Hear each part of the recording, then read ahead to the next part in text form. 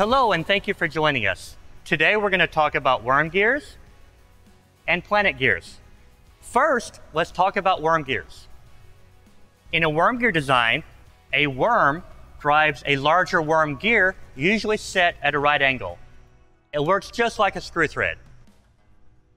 To understand planetary gearing, think about the solar system and how the planets revolve around the sun. In a planetary gear set, multiple planet gears revolve around a sun gear inside of a ring gear. The planet gears are held in a planet carrier assembly and rotate on ball bearings on a planetary gear pin.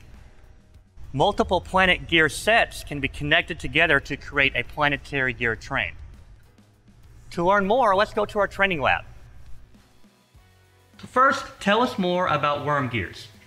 Well, the worm gear system is a time-tested and durable system. It is capable of very high gear reduction with very few moving parts, too. Another advantage of the worm gear system is the fact that it's not easily backdriven. What do you mean by backdriven?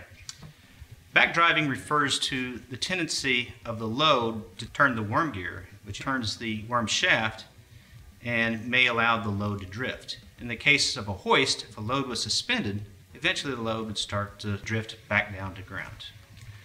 So what are some of the disadvantages of the worm gear design? The worm gear generates a lot of heat due to friction. And because of this, you have to let your system cool down to prevent damage to the moving parts. So tell me more about planetary gear trains. Planetaries are a way of accomplishing the same thing but with a higher efficiency.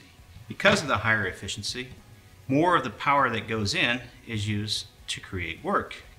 Because of the same high efficiency, it's easily backdriven, which in most cases requires a brake. The other disadvantage is to create the same gear reduction as the worm gear system, we'd probably need two stages of planetaries, which increases your expense. So in conclusion, worm gears offer a simple, time-tested, durable design, but they're not very efficient. Planetary designs have more moving parts and require additional braking, but allow for long duty cycles because of their greater efficiency.